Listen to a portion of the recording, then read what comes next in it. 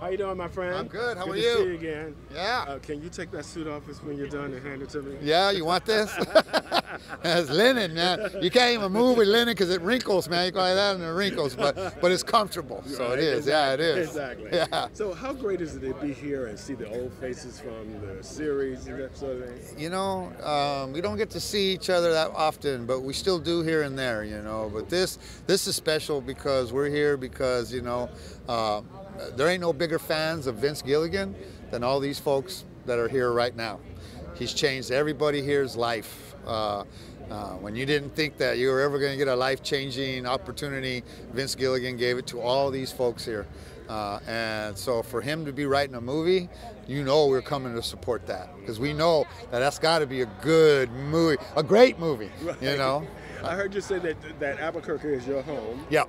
And so when the show is so immensely popular, Yeah. So you being the hometown boy, what could you go to the grocery store? Could you No. tell me about your My wife life? cut me off from the grocery store on season three. Right, yeah, season three is when things change for, for you know for Breaking Bad and for, for all of us, and uh, you know I, I do now. You know, I mean, and, and it's okay now. I think uh, Breaking Bad has become a part of what Albuquerque is. You know, just sort of like here in Hollywood. You know, people just they just see all these big stars all the time now and it's nothing you know they're just you just find out they're just people they're just folks trying to make a living trying to you know put some kids through college you know uh, those those everyday things is who we are.